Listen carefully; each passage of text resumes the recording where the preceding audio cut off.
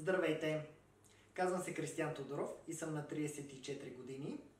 Професионалният ми опит пред камера включва участие в български сериал с заглавие София в къщи.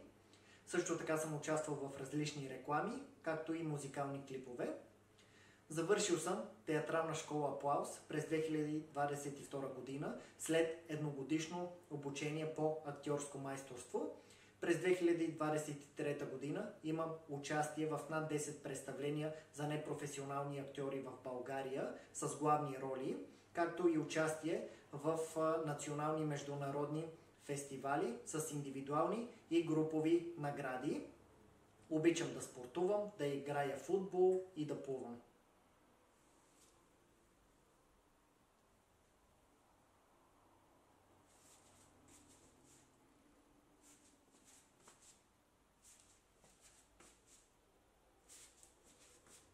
Благодаря ви.